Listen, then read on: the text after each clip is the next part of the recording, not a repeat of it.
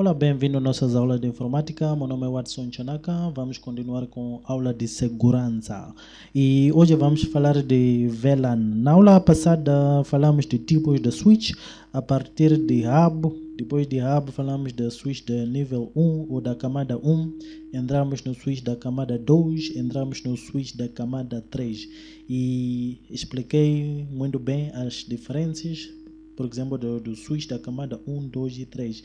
E camada 1 são aqueles simples, que são plug and play. Temos camada 2, tem função, uh, tem aliás, uh, funções inteligentes, onde podemos configurar as portas. E temos a camada 3, onde tem uh, duas funções, funciona como router ou como rateador e ao mesmo tempo funciona também como switch inteligente.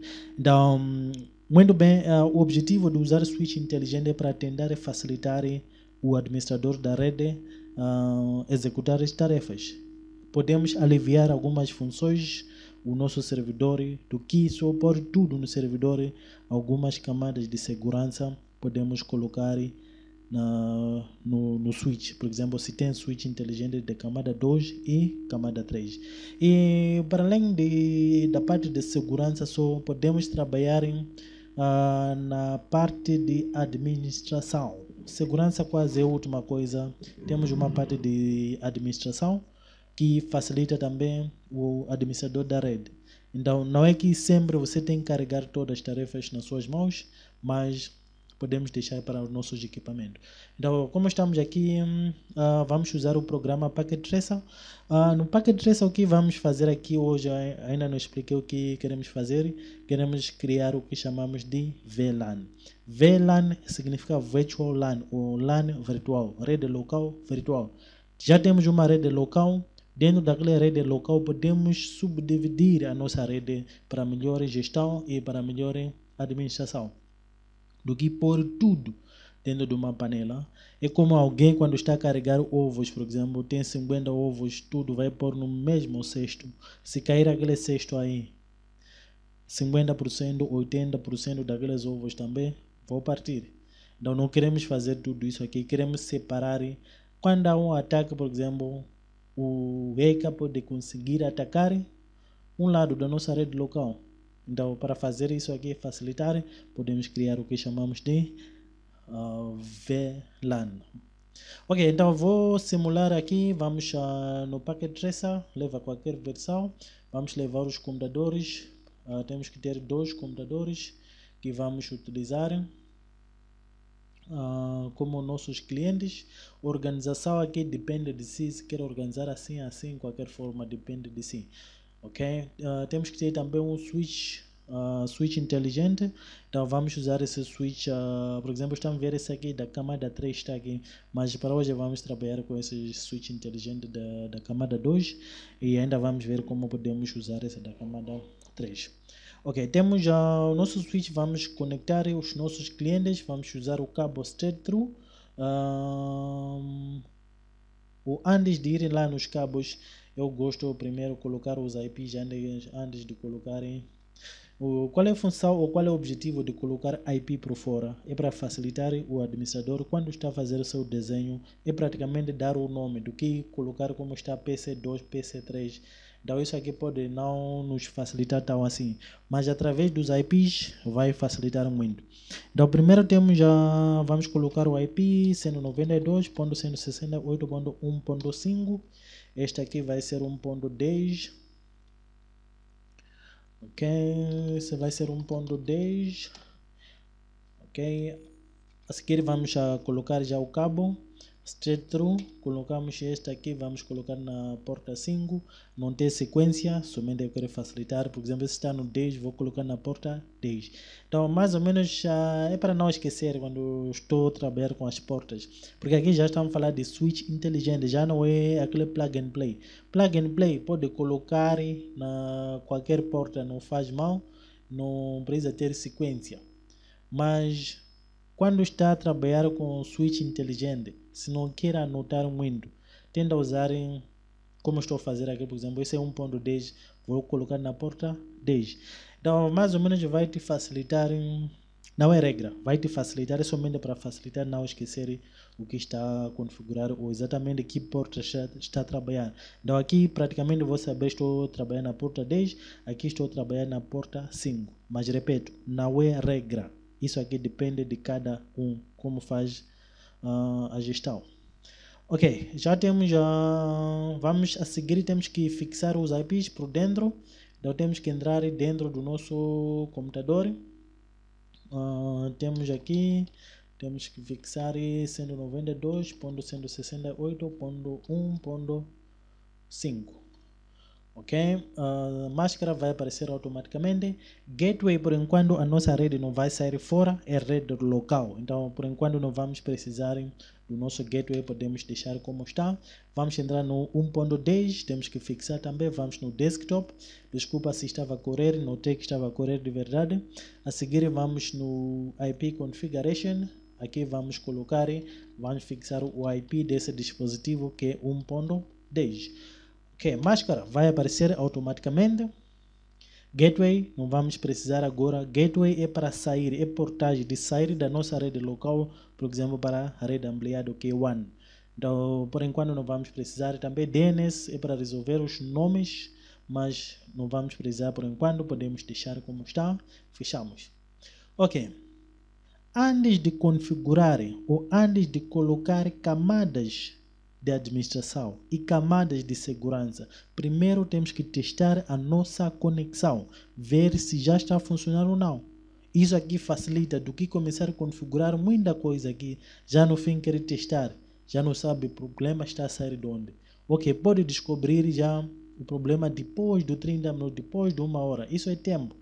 Então, vamos descobrir na hora. Caso que há problema, é fácil resolver na hora do que começarem a vasculhar dentro das camadas aí. Então, vamos testar a conexão se está a funcionar. Vamos entrar no qualquer PC, por exemplo, estou entrando no 1.5. Vamos aqui no CMD, vamos usar o comando ping. Queremos mandar aqueles ecos para ver se Uh, quando estamos a falar de eco, é uma maneira de dizer ping. Ping é pedido. Quando manda ping daqui, significa está a pedir comunicação com este PC.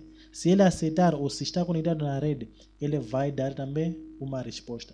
Então temos ping, vamos uh, para 192.168.1.10. Ok, aqui temos uma resposta de 1.10, ele conseguiu nos responder, não perdemos nada. Então significa está tudo bem e temos que evitar também testar de um lado, testar dos dois lados, porque a comunicação pode ser de uma via, então sempre temos que testar do outro lado também. Vamos no 192.168.1.5. Ok, está a faltar o comando que é ping. Ok, então está aí também. Temos a resposta do nosso dispositivo de 1.5 há uma resposta, então significa a nossa rede local está a funcionar muito bem. Então, como estamos assim, estamos numa rede local sem nenhuma configuração, apenas quando conseguimos conectar este PC mais este PC para um switch inteligente da camada 2. Ok, indo já nos, uh, no nosso objetivo da cadeira de hoje, ou no nosso foco da, de, de VLAN, Qualquer switch basta configurar ou basta conectar switch inteligente, ele já vem com VLANs criado. Então tudo isso aqui automaticamente chama-se VLAN 1, que é VLAN padrão. Então como podemos ver isso aqui? Vamos entrar no nosso switch, duplo clique seu switch, vamos aqui no config, Aliás, desculpa, vamos aqui no command line, Sempre eu gosto de comandos uh, e falamos também linha comando tem mais uh, funções do que naquele GUI de gráfico. Não queremos gráficos aí para crianças. Nós vamos usar os comandos, linha de comando é mais para homem. Ok, uh, antes de entrar aí, temos que já estamos no nosso switch. Vamos usar o comando enable para habilitar o nosso switch. Uh, depois vamos entrar no modo de configuração. Vamos entrar no config t config config t que é configuração do terminal ok já estamos no modo de configuração é só notar aqui ok o que eu gosto de fazer principalmente antes de continuar é renomear ou dar nome o meu switch Quando você tem 2, 3, 4, 5 switches aí dentro da sua rede, ultimamente você já não sabe, ok, estou a configurar que switch. VLAN está configurado em que switch. Isso aqui está configurado em que switch. Então, para não falhar isso aqui, temos que dar o nome o nosso switch. Mudar o nome do que usar switch 1, switch 2, switch 3. Então, pode mudar o nome, dar o nome que você quiser. Por exemplo, se está na biblioteca esse switch inteligente, vai para biblioteca. Se está, por exemplo, no sala de servidor, pode escrever sala de servidor. Depende já do jeito que você vai organizar, mas tem que ser de uma maneira também que vai facilitar você saber. Então, por exemplo, eu quero abreviar hostname, vou pôr apenas S. Ok, depois Enter. Então, se notar aqui, já mudou o nome de switch para S. Então, já tem nome, então vou saber este switch aqui é S. Mas tenho que mudar S1. Porque se ter outro switch aqui, ok, S1 é melhor. Se ter outro switch, vou saber S2, S3, por aí. Então, vou organizar dessa forma aqui. Ok, já estamos aí dentro do nosso switch. Agora temos um comando que vamos usar para ver o, os VLAN que estão. Então vamos usar o comando show VLAN. Ok, não deu certo, falhei a onda aí. Ok, tenho que sair desse modo, vamos desculpar, Ctrl Z. Ok, show VLAN. Modo de configuração, show VLAN. Tenho que dar espaço aqui. Ok, está aí no show VLAN. Então vou tentar ampliar aqui. Ok, quando usar o comando show VLAN, ok, não está, acho que melhor assim. Show VLAN, quando usar o comando show VLAN, ele vai nos mostrar os VLAN que existem dentro do nosso o, computador. Então vamos ver aqui onde está o comando. Estou tentando fazer o zoom, outras ferramentas ainda não usei. Ok, não faz mal. Ok, aí no Show VLAN temos essa ferramenta. Aliás, o comando vai nos trazer essa caixa de diálogo que vai nos mostrar os VLAN que existem dentro do nosso switch inteligente, por exemplo, desse switch 1 que coloquei. Então, aqui aparece VLAN, nome dele aparece aqui, 1. O nome do VLAN, default. Default significa padrão. Estado, status, active significa está ativo. Portas, ports são portas. Então, se notar, saltou desses portas 24 portas, mais duas portas de gigabit que estão aqui, que estão conectados no VLAN 1. Essa parte estava a dizer todos os dispositivos da Cisco, automaticamente quando compram um switch inteligente, todas as portas ficam no VLAN 1, que é padrão. Este aqui, VLAN 1 que é VLAN padrão. Então, quando criamos, nós vamos criar nossos VLAN e tiramos essas portas dessa VLAN 1 e proteger aonde? No outro VLAN que vamos criar. Então, se ver, temos esse VLAN também 1002 FDDI default. Isso aqui. Temos também esse 1003 token ring default. São vários, esses quatro que estão aqui. Esses já não se usa, esses VLAN, mas sempre eles aparecem dentro do dispositivo ou dentro de qualquer switch inteligente. Qual é a função desses, uh, desses uh, desculpa, qual é a função desses um, dispositivos ou desses uh, VLAN?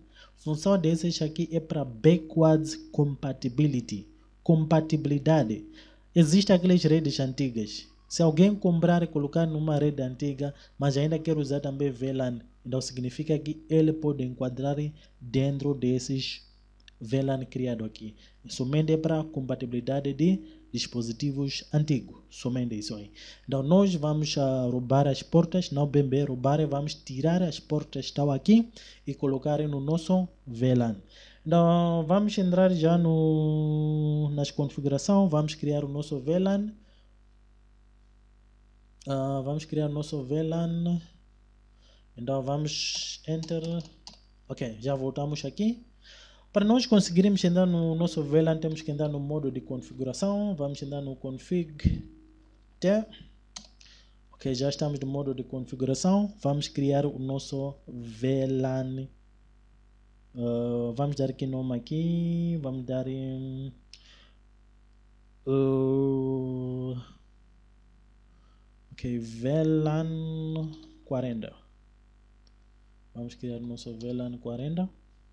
Ok, já está aí. Então, se ver aqui, já temos a S1 config VLAN 40, a VLAN. Então, significa que conseguimos chamar a VLAN e criamos nosso VLAN 40. Qual é o nome que vamos dar esse VLAN 40? Então, temos que dar nome para não esquecer name. Por exemplo, vamos dar o nome estudante. Estudante. Eu não gosto de escrever com letra maiúscula, sempre vai me complicar. Então, basta pôr na minha cabeça tudo em minúscula. Vai facilitar também o meu trabalho. Então, temos aqui VLAN estudante. Ok, já está aí, já tem o nome, o nosso VLAN já tem o nome que é estudante. Vamos criar mais outro VLAN. VLAN, por exemplo, vamos dar o VLAN 80. Qual é o nome desse VLAN? Hum, NEMA, vamos dar gerenciamento. Gerenciamento. Esses nomes compridos às vezes também te, acaba de te complicar. Pior nós que no falamos português como terceira, quarta língua por aí, pode complicar mais ou menos. Ok, está aí gerenciamento, já está. Então significa que criamos duas VLAN, que primeiro é VLAN 40 e vai usar nome estudante, criamos VLAN 80, vai usar o nome gerenciamento. Mas esse gerenciamento é exatamente para o quê? Management em inglês. É para gerir a nossa rede. Para conseguir apagar e controlar outros VLAN, redes locais que vamos criar. Porque estamos falar aqui, estamos criar redes locais dentro de uma rede local principal. Mas temos que ter uma conta que vai servir como de administrador, que é essa aqui, VLAN gerenciamento, que vai nos facilitar gerir todos uh, os VLAN e criar o que chamamos de tronco. Ah, vamos ver à frente aí como se cria o tronco. Tronco, ok. Um, para ver o que já criamos, vamos usar o comando exit para sair. Exit para sair. Vamos uh, sair de novo. Temos que clicar logo no nosso switch exit de novo. Ok já estamos dentro do nosso switch. Vamos usar o comando show VLAN ok. Então eles vai nos mostrar já. Se ver voltamos naquele VLAN naquele desculpa. Voltamos uh, naquela janela que mostra os VLAN criado com o comando VLAN então falamos desse VLAN 1 que é padrão. Nós criamos também VLAN 40, este aqui. Estudante, já está ativo. VLAN 80 criamos, qual é o nome dele? Gerenciamento.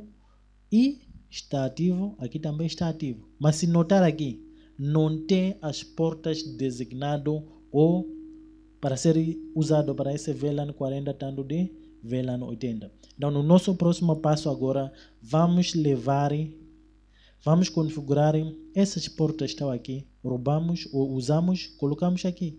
Então, ideia, qualquer hacker quando entra no seu switch, ele procura esses aqui VLAN abertos.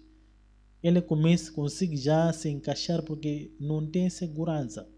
Mas quando colocar, na, por exemplo, no VLAN estudante, significa que aquela porta sai. Se usamos porta 1, se colocar aqui, aqui vai sair também a porta. Então fica mais, mais ou menos seguro. Ainda vamos ver na parte de segurança como podemos assegurar essas nossas portas.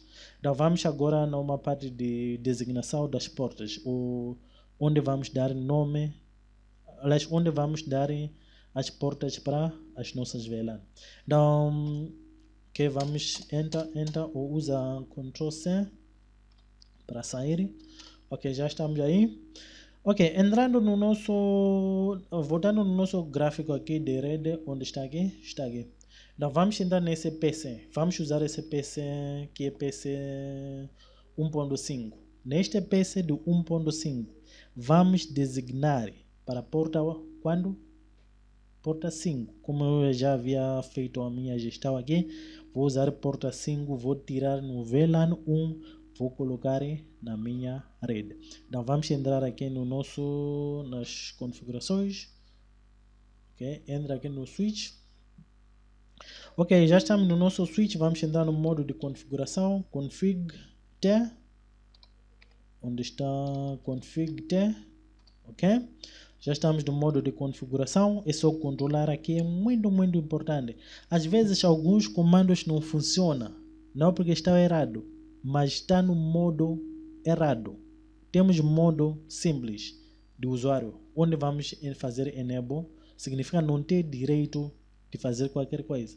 Temos modo de administração, onde vai aparecer com um cardinal aqui, significa modo de administração. Você consegue ver alguma coisa, por exemplo, consegue ver os VLAN que estão instalados dentro da nossa rede. Então vamos chegar na parte de segurança, onde vamos pôr senha aqui. Para alguém conseguir fazer esse comando, primeiro vai pedir a senha. Temos modo de configuração já, onde você consegue modificar, como está a dizer o nome configuração, onde podemos configurar a nossa rede. Então são esses modos, então temos que prestar atenção principalmente aqui, antes de colocar o comando. Senão vai se bater cabeça para não estar funcionando, não está a funcionar, mas o comando está certo, mas está no modo errado. Ok, vamos continuar, estamos uh, no modo de configuração. Vamos entrar na interface que queremos uh, uh, configurar. Então, int, que é a interface, FA, que é Fast Ethernet. Vamos entrar no 0 barra, desculpa, 0 barra 5. Então é a porta 5 que vamos levar. Vamos colocar aonde? Enter. Então temos que ver já o modo aqui. Já é config traço if. If significa já estamos dentro daquela interface Fast Ethernet 05. Então temos que configurar aqui essa porta 05. O que queremos com essa porta 5? Vamos usar o comando switch port. Switch mode, desculpa. Switch mode access. Ok switch mode access significa estamos a pedir desculpa aqui vamos dar espaço senão vai nos dar bug aqui. Uh, switch mode uh, switch mode access ok de explicar depois. Vamos entrar no outro na outra linha.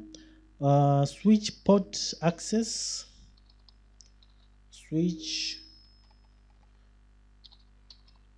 switch port uh, access.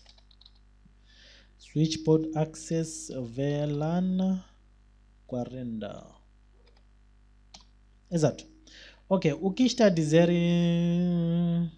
estou uma coisa errada aqui não estou a ver bem esse comando ok é aqui switch port tem que ser uma frase aqui ok temos aqui este comando que está a dizer switch mode access significa estamos entrando no modo de acesso entramos aqui, vou explicar a partir daqui. Entramos no modo de configuração. Nesse modo de configuração, entramos no Fast Ethernet 05. Estamos aqui, nessa porta. Mas queremos entrar, entramos, aliás, aqui na porta, por exemplo, onde está conectado este cabo, onde? Na Fast Ethernet 05. Dentro desse Fast Ethernet 05, o que queremos? Como estamos a ver aqui, config if. O que queremos? Queremos ativar modo de acesso. Aqui, Switch Mode Access.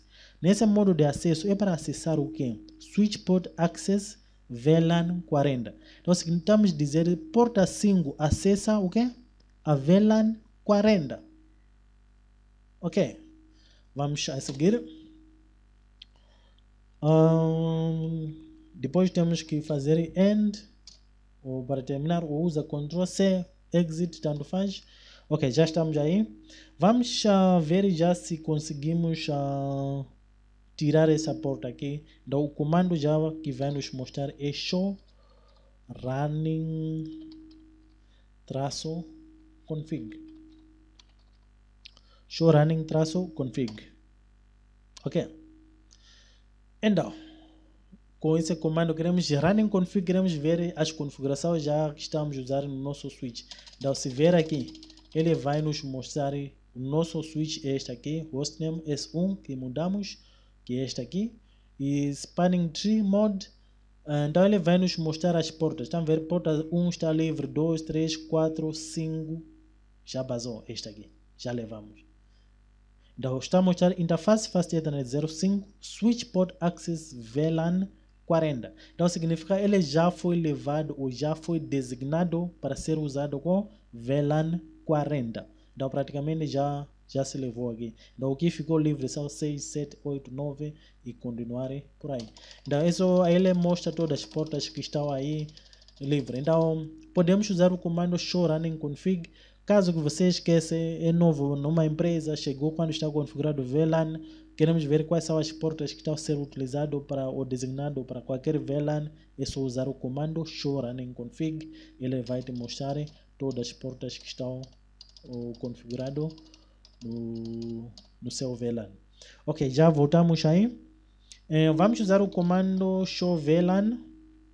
Já usamos esse comando para verificarmos uh, aqui no VLAN. Então, se notar aqui, nosso VLAN 40 que criamos estudante já está ativo, estava ativo aliás, mas já temos uma porta Fast Ethernet 05. Esta aqui já levamos. Então, se notar o que está livre no VLAN 1, este aqui, 1, 2, 3, 4, 5 já saiu. Já está para porta 40. Então a ideia é isso aqui. Quando você está a configurar VLAN, tenda a tirar todas essas portas. Reca quando, quando conseguir entrar no seu switch, primeira coisa que ele faz é tentar se encaixar nesses VLAN. Então se você não tirar ou não colocar, ok, ficou, mas não colocou nenhuma camada de segurança aí, ele vai se encaixar aqui. Se, basta se encaixar, significa já está por aí dentro. Mas se um hacker entrar, por exemplo, vai se conectar no switch, na porta 5, mesmo se não tem nada aí, mas ele não está configurado a ser usado aqui no VLAN do estudante, não vai conseguir ter acesso. Então, VLAN é muito importante. Então, andando com o tempo já você vai tirar, vai tirando, vai tirando todas as portas aqui. Vai dar o VLAN estudante. Cria outro, por exemplo, da administração. Vai tirar também as portas. Cria outro, por exemplo, da contabilidade. Vai colocar da secretaria, tira outra, algumas portas. Aqui praticamente vai ficar sem nenhuma porta livre. Exatamente. Então, voltando uh, para o nosso switch, uh, vamos voltar para o, os computadores já criamos VLAN. Então significa esta aqui, mas esta aqui já não está na mesma rede. Por quê? Porque esta aqui está no VLAN 1, que é padrão.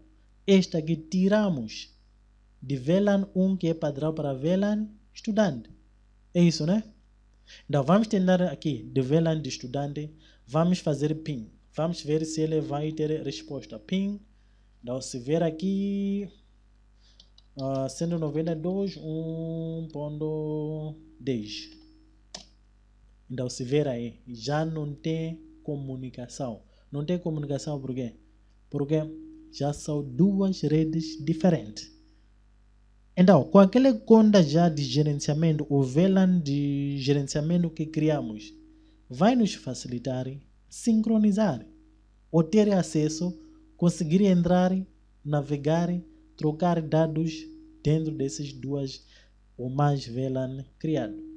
Tanto daqui, já não temos também acesso para, para lá. 1.5. Desculpa, esqueci o PIN. Já não temos acesso também para lá. Porque já são duas redes diferentes que estão aí. Ok. Para facilitar já a nossa rede, vou mudar aqui. Vou tirar isso aqui. Vou mudar este PC. Estão a ver este PC aqui? Já não está na rede de 1, como este aqui. Quem ficou na rede de 1.10 é este aqui. Mudamos aqui. Entramos dentro. Ou antes de mudar por dentro, vamos mudar aqui por fora. Isso aqui, de, de 1, vamos colocar quando? 40. Vamos entrar por dentro. Onde está? Aqui.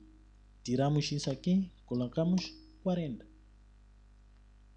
Então é para facilitar. Ok, o que quero dizer, o que posso explicar acerca disso aqui? Quando você cria, por exemplo, aqui, criei VLAN 40, que é de estudante. Então significa vou mudar Moza IP já onde? Para 40. Não é regra, volto a repetir. Não é regra de novo para colocar 40 aí, mas é para facilitar a minha gestão. Então, como posso fazer? Eu criei VLAN 40. Então significa todos os computadores ou todos os equipamentos da rede que está no VLAN 40 tem que levar o IP 192.168.40.5. Estão a ver?